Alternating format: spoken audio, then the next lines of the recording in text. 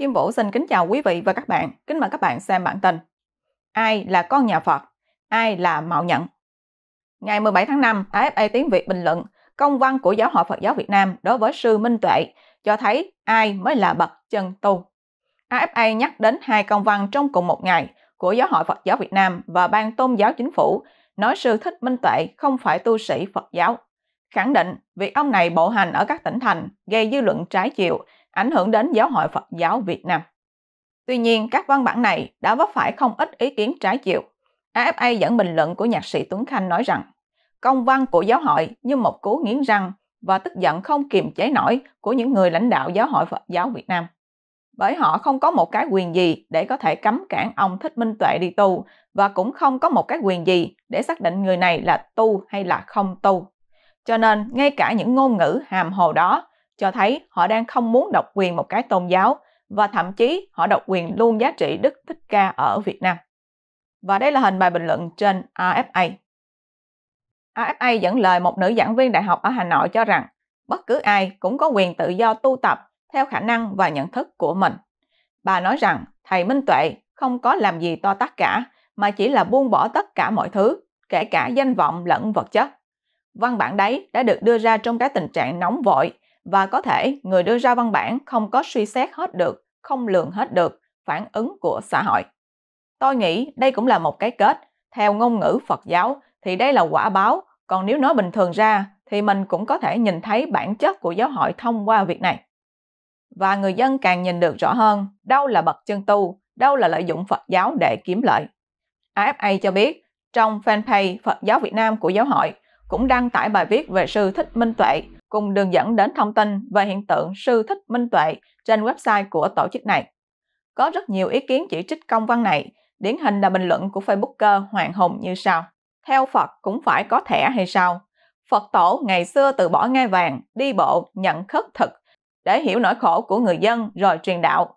Ngày nay một số người tự nhận là theo Phật, mang họ thích, nhưng đi xe đẹp, ở ở nhà, ở nhà gắn máy lạnh, nhận cúng dường và bái lại của dân chúng ai mới là con nhà Phật, ai là mạo danh con nhà Phật thì chắc mọi người cũng đoán được. Và đây là hình sư thích minh tuệ. AFA cũng cho biết công văn của ban tôn giáo chính phủ thì chỉ đạo không để các thế lực xấu lợi dụng, xúi dục, lôi kéo, gây mất đoàn kết tôn giáo và vi phạm pháp luật. AFA dẫn lời tu sĩ trẻ tên Minh Hải cho rằng công văn của giáo hội chỉ là văn bản nội bộ và chỉ có hiệu lực trong giáo hội, không ảnh hưởng gì đến sư minh tuệ. Vì mỗi người tu một đường riêng, giáo hội Phật giáo họ tu theo pháp môn riêng của họ, còn ông Minh Tuệ tu tu tự do theo các môn riêng của ông ấy, theo pháp môn của Phật giáo cổ truyền. Hai đường lối này khác nhau hoàn toàn, không có liên quan hay ảnh hưởng gì tới nhau cả. AFA tiếp tục dẫn Facebook của nhà báo kỳ cựu Chu Vĩnh Hải cho rằng Phật giáo có 8 vạn 4 ngàn, tức 84 ngàn pháp môn, trong đó hạnh đầu đà, tu khổ hạnh chỉ là một hàng trăm ngàn người dân mới chỉ có một tu sĩ, mới chỉ có một đầu đà. Vì vậy, họ không làm ảnh hưởng đến cá nhân và cộng đồng nếu xét về kinh tế và phát triển. Tuy nhiên, ông cũng cho rằng mọi người nên giữ khoảng cách với sư thích minh tuệ, nên đứng lặng im bên đường để chiêm bái thầy. Cá nhân đời thường trong thời hiện đại cần quyền riêng tư thì thầy cũng cần cô đơn như tuệ, niệm của pháp môn mà thầy đã lựa chọn. Quý vị và các bạn đang xem chương trình trực tiếp của Kim Vũ với bản tin ai là con nhà Phật, ai là mạo nhận. Xin mời quý vị và các bạn chia sẻ video này cho nhiều người biết và bấm nút theo dõi trên YouTube và Facebook của Thời báo chấm đề để luôn được cập nhật bản tin mới nhất, nhanh nhất và trung thực nhất. Kim Vũ xin kính chào các bạn và hẹn gặp lại các bạn trong chương trình lần tới. Kim Vũ xin kính chào quý vị và các bạn, kính mời các bạn xem bản tin Góc nhìn quốc tế và những nhiễu động chính trị mới đây tại Việt Nam.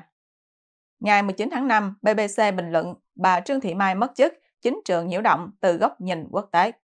BBC dẫn bình luận của một số trang báo quốc tế có nhận định chung là bà Mai bị buộc thôi chức, bị cho vào lò, bị nhắm đến vì là một trong ba người đủ tiêu chuẩn kế nhiệm tổng bí thư.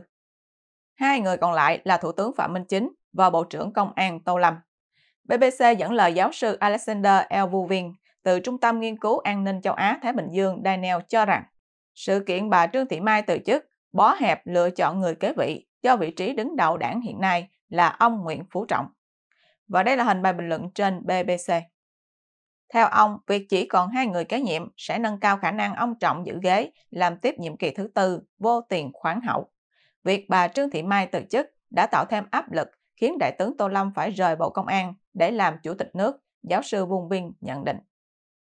Nhận định này của giáo sư Vung Vinh đã khớp với diễn biến sau đó khi Trung ương Đảng chính thức giới thiệu ông Tô Lâm cho vị trí này vào ngày 18 tháng 5.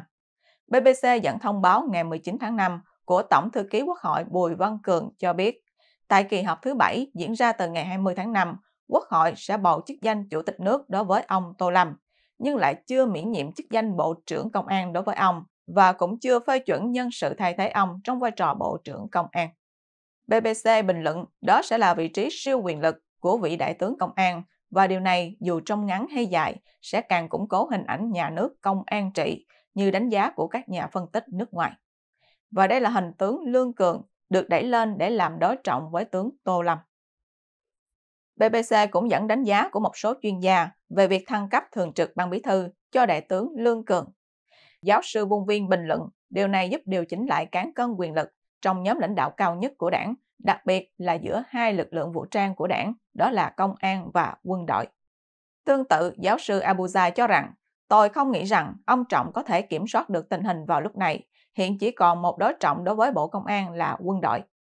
Phóng viên Sebastian thì đánh giá, gian lãnh đạo càng bị thống trị bởi quân đội và Bộ Công an, cơ quan được trao trách nhiệm chính trong công cuộc chống tham nhũng.